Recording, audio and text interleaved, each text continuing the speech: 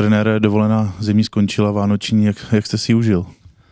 Tak eh, já dobře tentokrát musím říct, protože to nebylo tak hektické jak v minulosti a i to volno bylo vlastně delší tím, že začíná liga o týden později, tak přece začínáme vlastně dneska, dneska pátýho, ne třetího, takže, takže já si myslím, že po dlouhé době jsem měl fakt uh, takovou desetidenní vlastně dobu plného volna a uh, čas sám na sebe, takže, takže pro mě uh, já jsem spokojený. Nicméně zpátky do práce odlétáme do Španělska, co tam tým čeká? Tak čeká nás vlastně 11 denní kemp. Eh,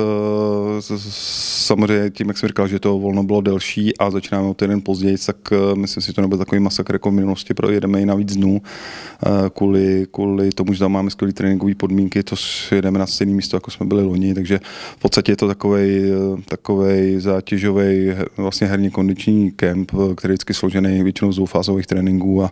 vždycky jeden je, je běžecký, jeden je vyloženě herní, je to proložený i, i jinýma věcma, tentokrát ten byl tuším o tři dny navíc, kvůli tomu, aby uh, jsme tam toho udělali víc, víc a uh, protože tam jsou prostě skvělé podmínky, takže ta, to, ta první fáze bude trošku rozjebat ty hráče po té dovolený, než dostaneme do toho, do té nejvyšší zátěže a uh, vlastně strávit hodně času na hřišti. Kádr doznal a možná ještě dozná několik změn. Pojďme to probrat postupně. S týmem neletí Pepa Užboer, Milan Škoda, velké postavy minulých let, tak eh, co k tomu, k tomu jejich případnému odchodu? Tak eh, kluci, kluci dostali nebo dostávají ze, pro ně zajímavé nabídky ze zahraničí a um, mají takovou dohodu vlastně s vedením, že uh, by to pro ně byla taková nová výzva, takže jim v tom nechceme bránit, to, to rozhodnutí necháváme čistě na nich. Teď momentálně s náma neletí z toho, že z důvodu, aby si ty věci řešili, protože se to objevilo vlastně v poslední době a neletí s náma proto, aby si ty situaci a ty, ty nabídky vlastně vykonzultovali a pokud to nedopadne, tak doletí vrátí zpátky za náma a říkám, jsou to pro ně hodně zajímavé vlastně destinace a, a tím, že nás na hře čeká vlastně jenom 15, 15 zápasů, tak eh, vlastně od toho klubu dostali svolení o těch nabídkách vlastně jednat a vyřešit si tu svoji situaci. Bohužel se to takhle špatně načasovali, to bylo v poslední chvíli, takže než aby to řešili po telefonu vlastně ze zahraničí, tak je necháváme tady a uvidíme, jak to dopadne, případně za náma doletí zpátky.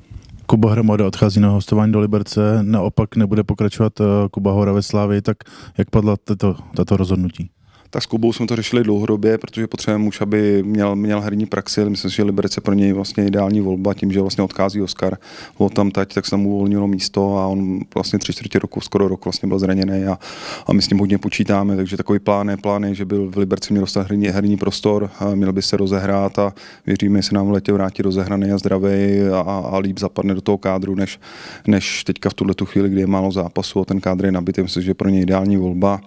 Mě těch eh, možností bylo bylo více, on sám si vybral Liberec a myslím si, že to pro něj, pro něj je skvěl, skvělá volba, takže budeme věřit, že bude zdravý a že bude, eh, že bude, že se mu to tam, že se bude dařit a u Koby hory eh, jemu skončilo hostování kdyby jsme pokračovali víc, víc soutěžích, tak by tady určitě zůstal. Musím říct, že skvěle splnil tu roli, kterou měl. To tím myslím to, že, že skvěle trénoval a skvěle do toho týmu zapad. Eh, bohužel na těch jeho postech ty hráči, eh, ať neměli, buď to nebyli zraněni, nebo neměli karty, takže on přišel jako vlastně takovej hráč, který bude připravený za to, kdyby se něco stalo, k jeho smůle k tomu nedošlo, že ty posty byly plně obsazený, ale splně nám přesně tu roli, kterou jsme potřebovali v té kabině a uh, tím, že těch zápasů je málo a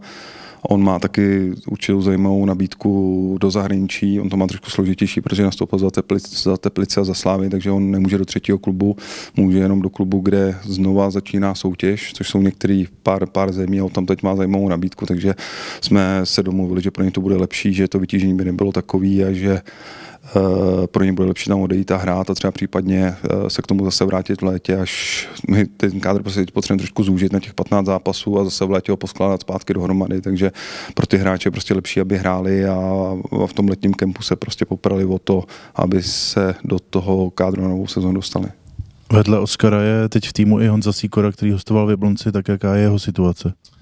U Honzy mu skončilo hostování a Blonec o něj projevuje zájem a je to taky jeden z hráčů, se kterým jednají zahraniční kluby a řeší to, řeší to Honza Nezmar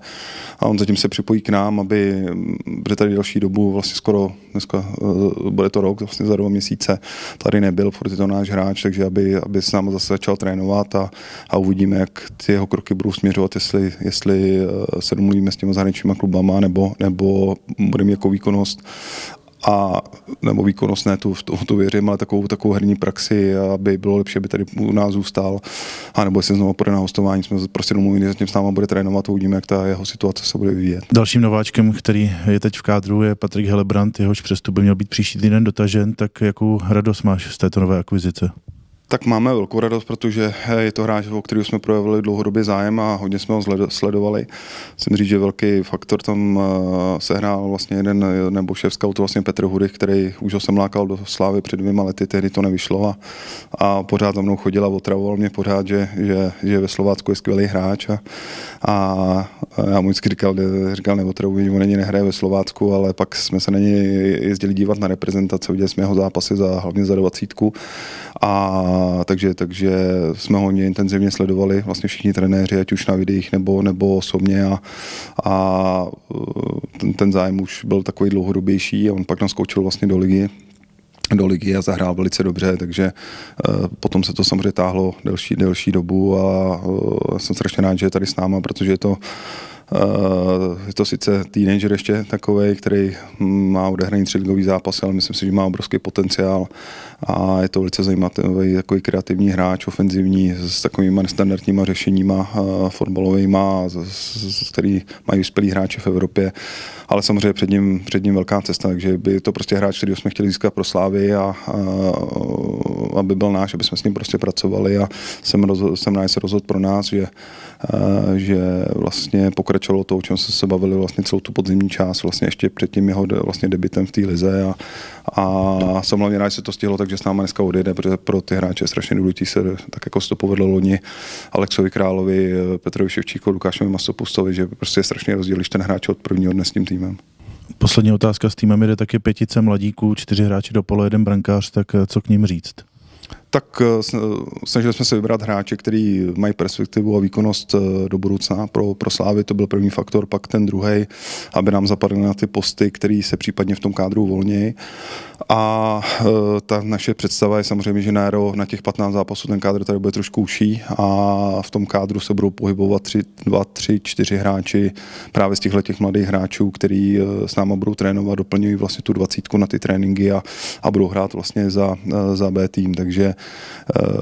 jsou to hráči, který, který nás eh, vlastně zaujali ať už výkonama nebo přístupem během, během té podzimní části. Eh, trošku směřují do těch postů, který, který my potřebujeme do té přípravy. Eh, jakou vlastně u Koseka, protože je, tam je možnost, že, že Jarda Zelený půjde, půjde na hostování, že u něj projevují některé kluby z velice zajímavý vlastně zájem, takže, takže bylo to vybírané tak, aby v případě odchodu těch hráčů, kteří v tom kádru dneska jsou, tak zaujali pak to jejich místo na tu, na tu herní část. Stando, po zimní přestávce zase začíná ta příprava, odjíždíme na soustředění do Španělska, tak nejprve jak jsi užil dovolenou? Užil jsem si, užil jsem si ji dobře, tak samozřejmě trávíme ten volný čas s rodinou, takže to je vždycky příjemný. Teď odjíždíme na soustředění do Španělska na to kondiční soustředění, jak, jak se tým těší, jak je připravený? Tak tam už to bude asi méně příjemný, ale, ale připravený. Já myslím, že jsme všichni asi a, a budeme se s tím muset poprat tak jako, jako každý rok a, a pak, z toho, pak z toho těžíme celou tu půl sezónu. No. Ty už si pod trenéry zažil několik zimních soustředění. Jaká tam bude ta skladba tréninku, nebo jak to mají naplánované, protože se samozřejmě říká, že se hodně běhá, ale předpokládám, že tam budou i tréninky na hřišti. Tak eh, doufám, že budeme i na hřišti, ale, ale většinou to bylo tak, že dopoledne jsme šli na hřiště a, a odpoledne běhat, takže myslím si, že to bude asi dost podobný jako, jako každý rok tým odjíždí ochuzen o nějaké hráče, zase přichází další mladí hráči nebo Patrik Helebrant, tak jak se cítíš nebo jak se těšíš na to, že třeba se ten tým trošku promění? Tak eh, je to, je to zvláštní hodně, protože přece jenom kluci, kluci nám budou hodně chybět. Prožili jsme tady toho spolu hodně, hodně dobrýho a je mi to líto, no, že s náma nejedou, ale, ale k fotbalu to patří a, a teď jsou tady jiní kluci, kteří prostě budou muset, budou muset makat, aby, aby kluky nahradili. No.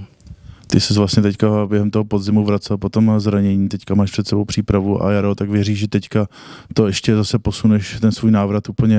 až v vozovkách na tu nejvyšší úroveň? Tak doufám v to, hlavně, hlavně musím vydržet zdravý, protože teďkon, teďkon to nebylo úplně dobrý, vlastně na, chvilku, na chvilku jsem se do toho dostal, pak jsem měl zase nějaký problémy a, a samozřejmě to bude to nejdůležitější, když vydržím zdravý, tak, tak věřím tomu, že, že ještě tady tomu týmu mám co dát. No.